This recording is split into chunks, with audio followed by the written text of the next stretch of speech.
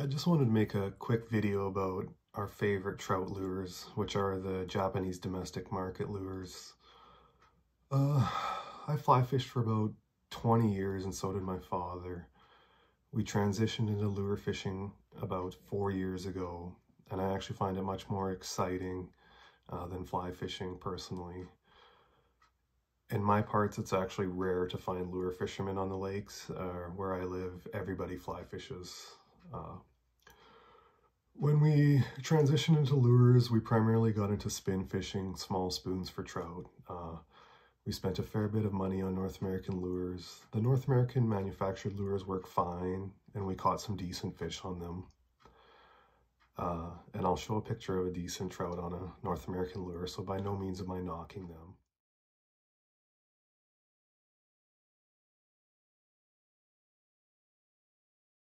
With that said, from there I started to learn about Japanese domestic market lures. After researching them, I made a few orders from Japan for lures.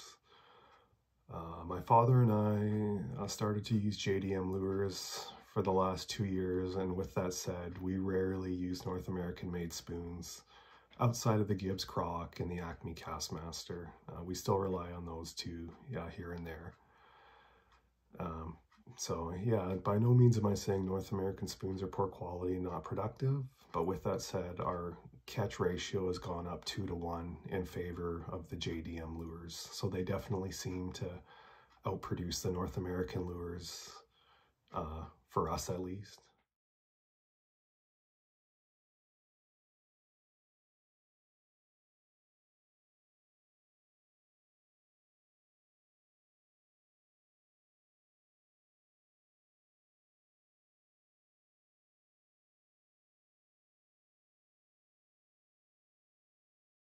At this point, I'd like to mention some design points that give the JDM lures the edge in my opinion.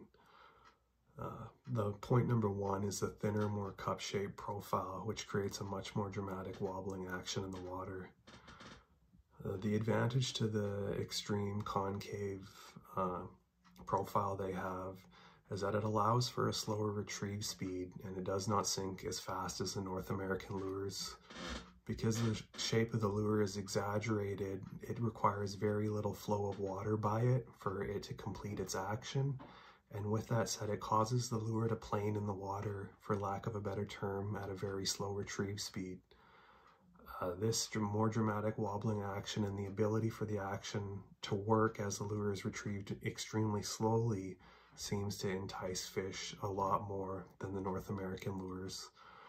Uh, a lot of my North American lures, you retrieve them slow and they just sit on their side and they just run through the water. They don't actually complete the action and they generally just sink. Whereas the Japanese lures, they just require a very slow retrieve speed and they just sit up off the bottom of the lake, which is excellent. Uh, the second point I would like to mention that I think gives them the edge is the better color selection.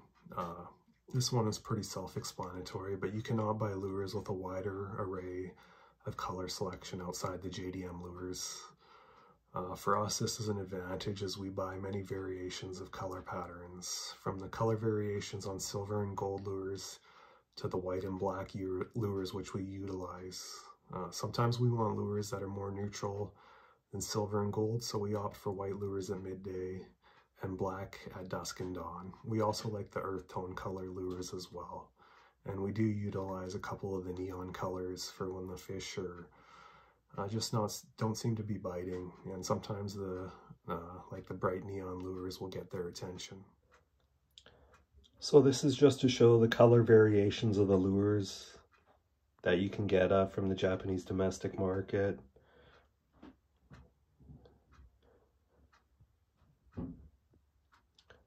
This frame shows the Smith DS's in the four different sizes we have them in. Six and a half grams, five grams, four grams, and also three grams.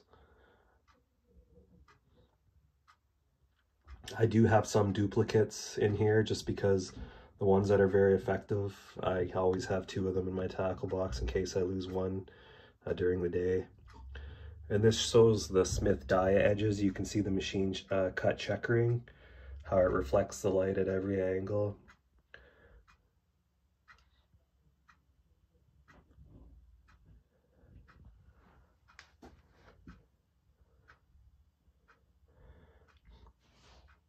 And then we get into the Forest Miu colors that I prefer. Uh, you can see the Yamame and the, the blacks I like, and then the white variations. Then I also have some red and gold, which are always consistent. I got some Shimano Slim Swimmers in this frame, uh, some Bucks brand lures as well, which I find to be effective. But yeah, just a vast array of colors that you can play with to get the rainbows to bite. And then in this frame, it's mostly the Forest Mius, which I which are all in three and a half grams. I find these extremely effective in the shoal areas. You can retrieve these lures super slow, and yet they still have a really wild action. You can see your rod tip snap back and forth. With all of these lures, the action is so pronounced on them. The bottom left, there's a couple six gram forest uh, realize, which is a very consistent lure. But yeah, I just wanted to give you the, an oversight of the colors you can get from the JDM market. Now, these aren't all my lures, but uh, these are the ones I find to be the most effective. And all of these come with me every time I go fishing for trout. The third point I'd like to mention is that the JDM lures come with better terminal tackle right out of the box. The hooks are usually the Cultiva brand and they are the right size for trout. To simply explain this, let me show you a Gibbs Croc compared to a Smith DS. So you can see the size of the hook on the Gibbs Croc as opposed to the Smith DS. It's much more massive. So are the split rings, and it also comes with a giant barrel swivel. So I prefer my lures tuned down to the size of trout when I'm trout fishing. I don't want a massive hook like this. With that said, I'm not criticizing the Gibbs Croc in any way. Uh, these lures are sold as a salmon lure, and they're literally meant to land a 50 pound Chinook salmon. So yeah, I have no criticism against them, but they're just set up for a bigger fish than I am targeting. Uh, the JDM lures, yeah, generally require no tuning to get them into the water at all. And one thing I'll mention in the hooks for the JDM lures also come in different diameters. So for the trout uh, lures, they're actually a finer diameter, which equals uh, better hook sets and deeper hook sets because it's much easier for the hook to penetrate the mouth of the fish the fourth point I'd like to mention is uh, generally better attention to detail when it comes to the JDM lures. Uh, with a few exceptions, the lures are longer and narrower, which better imitate bait fish. The length of the lure also means that there are more distance between uh, the fish teeth and the leader line, which equals a lot less snap leaders, which is important for us. Uh, some of the lures even come with uh, bite markers and sight markers, which the Japanese feel are important for the fish to uh, strike accurately at the lure. So I'll show you a Smith DS. You can see the chartreuse and the orange dots are actually bite and sight markers.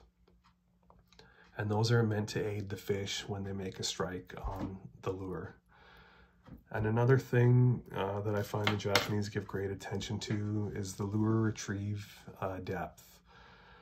The, every one of their lures is rated for uh, different depths, and I find that handy. Uh, uh, whether you're fishing on still water or moving water, you can choose the right lure for the right depth. Obviously, you can slow down the retrieve speed in North American lures to get the lure down there more, but that generally negatively affects the action of the lure. So I do like that the Japanese uh, rate their lures for different depths and they also provide uh, many lines of lures to go deeper or shallower as you need.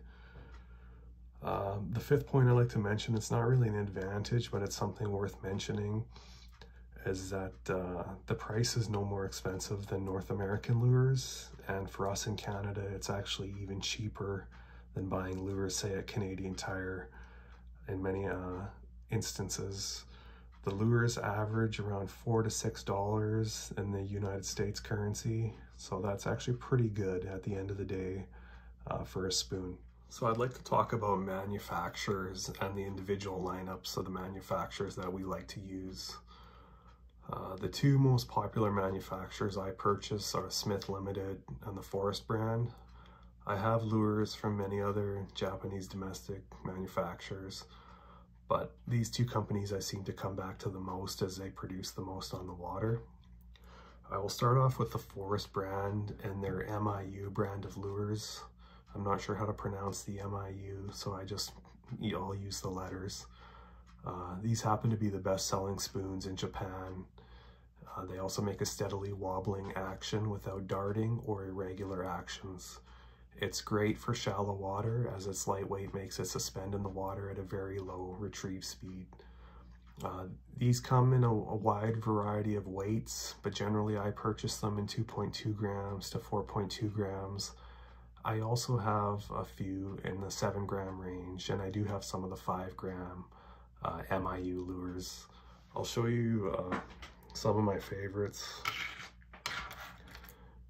Definitely like this one. It's got a pearl with a slight touch of green on it, but it's got a white back on it. That seems to be a very effective uh, forest miu.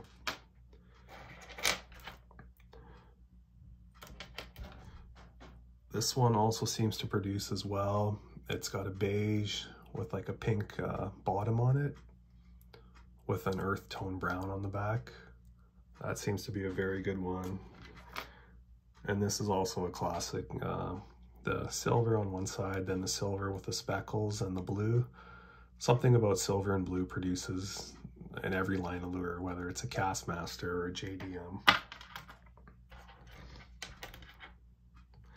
This one also seems to be especially good in the, uh, the three and a half gram range, which I'm showing you. It's uh, the abalone. It's got like an abalone finish on one side, then it's gold on the other.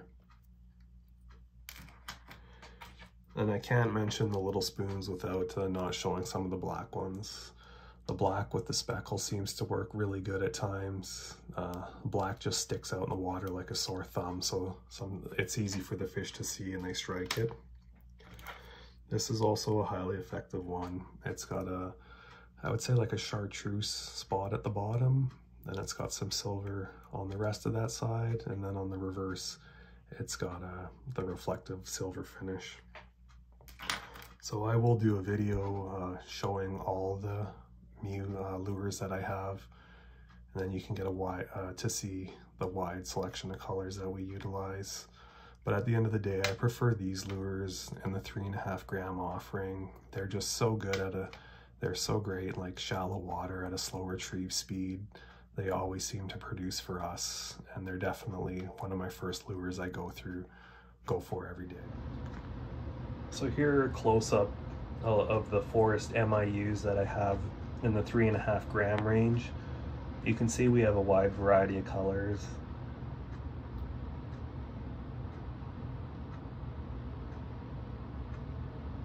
And to be honest, not one of these colors do not produce on the water. So it's just a very effective lure. And all of these are in the three and a half gram range. And I do have a few in the five gram range up here. So the second line of the forest lures that I like is their PAL line.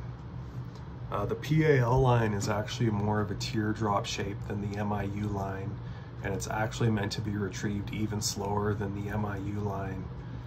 And uh, I'll show you a comparison of a Forest Miu next to PAL, and hopefully you can see the difference in the teardrop shape in the PAL, which is the black one.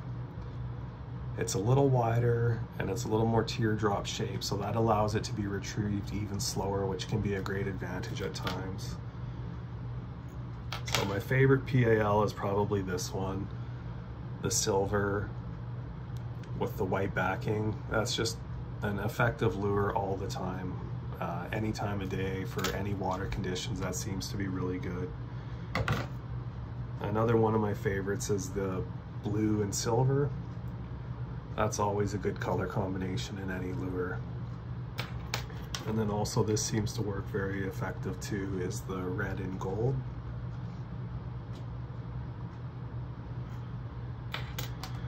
This is a newer one, but it's showing some promise. Uh, this color green just seems to entice the rainbow, so we've caught a couple on this, but I haven't put a lot of hours into this lure yet. But I'm sure it'll be as productive as the other ones.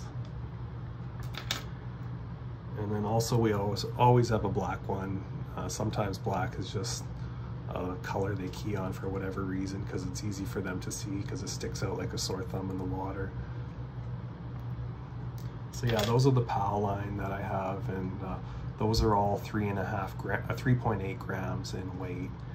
And uh, yeah, they seem to be very effective as well. So the next brand that we like is the Smith Limited brand. And the lines that we favor in the Smith Limited brand are the Edge Dia, the Drop Dia, and the Smith DS. And apparently the DS stands for dart and swim for that particular line of lures. Generally, these lures are longer and narrower, and they resemble minnows more so than the forest uh, spoons that we utilize. Uh, the anything from Smith has proven to be very effective uh, for us. So I'll show you a few of the Smith DS spoons in the six and a half gram range. And I'll show you the ones that seem to be the most effective for us. This one here with the, the touch of white and green uh, seems to be quite effective.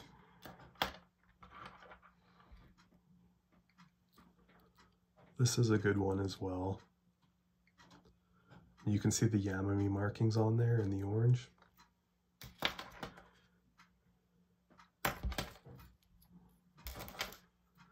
This one's also very productive.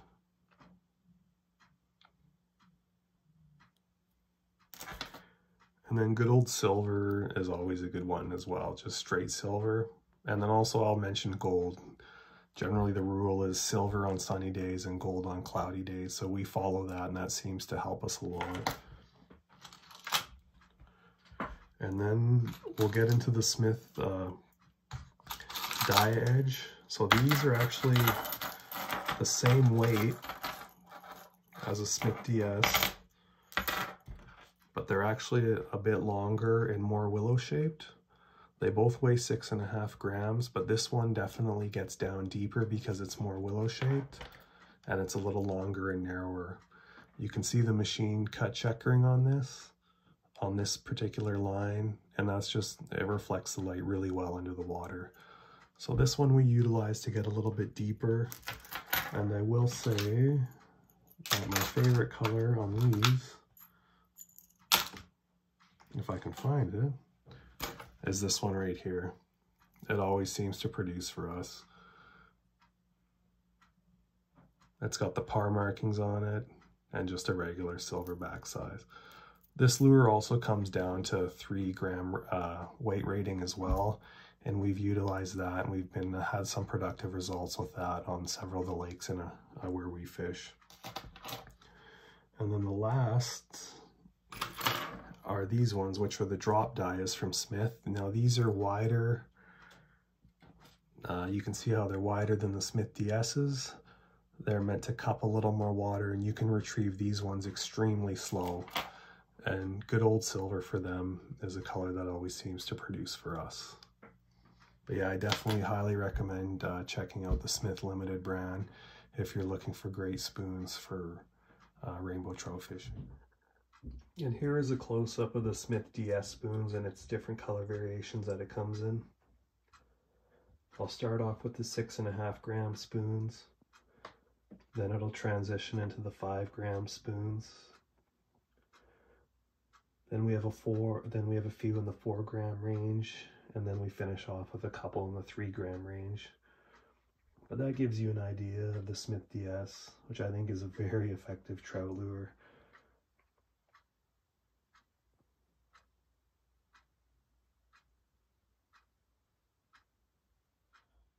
So here are some of the edge dias and the different colors they come in. These are all six and a half grams. Then I have some smaller ones at 4.7 grams. And then we get into the drop dias at five grams and then three grams. The type of fishing we do at the end of the day, I guess you could describe it as pretty specific and it revolves around using light spoons, light lines, and light reels and light rods to catch rainbow trout. We use the light lines to increase the lure action and the light lines also maximize our casting distance for every cast. We use light rods because we need light rods to cast out those light lures at a decent distance. Your average Canadian tire rod is just too heavy to cast out a light lure uh, at a good distance. We also like the light rods because they uh, are very forgiving when it comes to the bigger rainbow uh, trout shaking their heads when they're fighting you. The light rods just act as a shock absorber really well and they help soak up some of the action of the fighting fish. Uh, we also use light reels in the 1 to 2000 uh, series range. They pair very well with the rods we use and apparently those uh, reels require less inertia to start up the drag so it protects the line a little as well.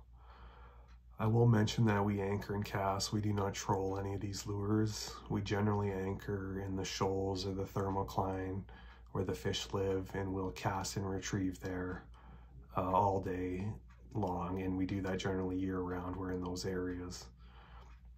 Uh, if people are curious where I buy any of these lures, I purchase them all at japantackle.com. And just to be clear, I have no affiliation to them except for I've been just been a customer of theirs for a while now. I find their customer service really good. Also, like I place an order from Japan and it's literally at my door in Canada within four to five days from placing the order. So they're very efficient. And the shipping rate is a flat shipping rate of $26. So if you buy a bunch of lures, you're only paying $26 for the shipping. I will do another video on the different JDM lures that I have and use, but today I just wanted to focus on the main ones that we've found to be the most productive.